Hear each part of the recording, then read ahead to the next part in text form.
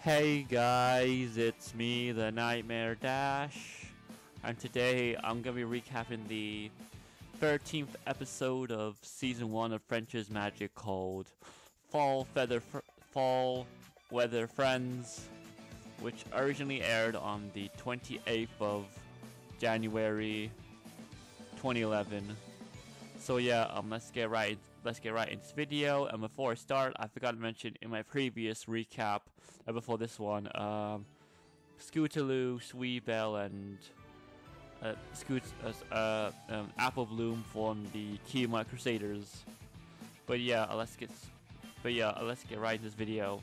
So in this episode of Friendship is Magic, uh, Applejack convinces Rainbow Dash to join the Iron Pony competition to see who's the best athlete out of them.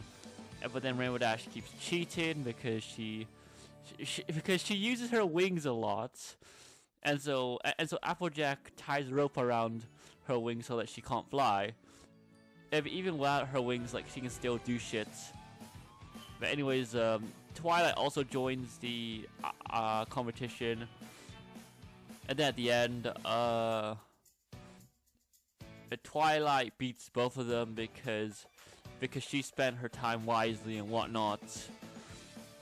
And together, uh, Applejack and Rainbow and Applejack, sorry, Applejack and Rainbow Dash learn that they need to uh, be less competitive towards each other or something like that, and be more, I don't know, what's the word, happy or whatnot, or something. Like that, I don't know. But uh, yeah, I'll see you guys next time. Bye.